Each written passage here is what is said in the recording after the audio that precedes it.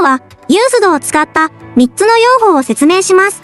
ユースドトゥービーで、以前は何々だったという表現です。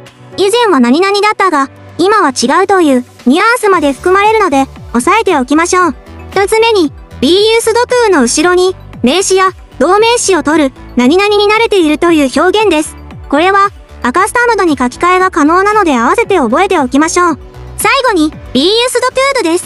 名詞と組み合わせて、何々するために使われるというシンプルな意味でもよく使われるので覚えておきましょう。Atsuko used to be the face of AKB48. Sokola is used to living in South Korea due to her time in his own. The AKB 48 Theater is used to host daily performances.